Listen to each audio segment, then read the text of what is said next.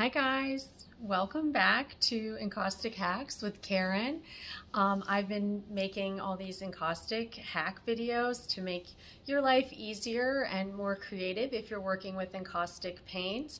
A lot of my tips work for other artists that don't work with encaustic paint. Today's tip I think is probably geared more toward encaustic painters.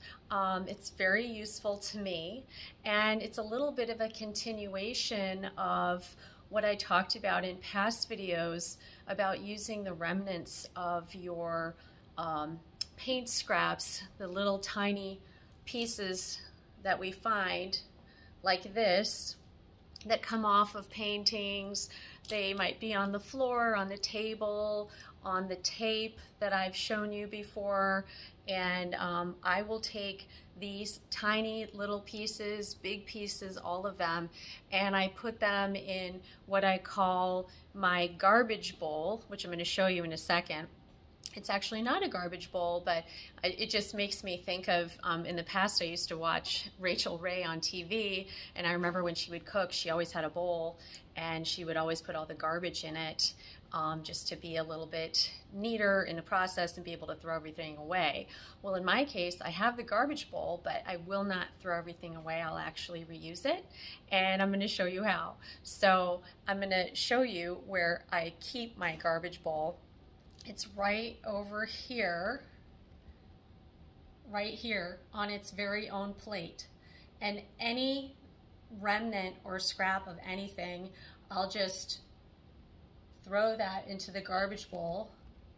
And as you can see, the garbage bowl has a really kind of a, I don't want to spill that, but let's see if you can see the color. There it is. It's kind of a murky, grayish color. Um, as you can see, it's molten right now. And sometimes the color of the bowl actually changes depending on what kind of pieces I'm working on. So sometimes it leans in a more gray direction, a brown direction, or green, um, but oftentimes it's, it's more muddier colors. But I like to use those colors um, to add different values to my paintings.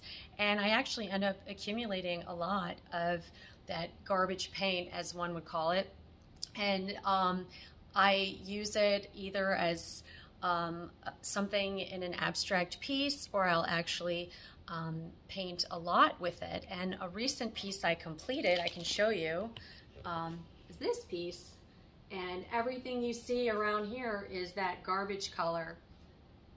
So I was able to create this background in an earthy tone, which I think set off the brighter colors um, really well, so I'm happy with how that turned out, but I had plenty of paint, and had I thrown all that paint away, I wouldn't have all this great paint and this cool color to work with.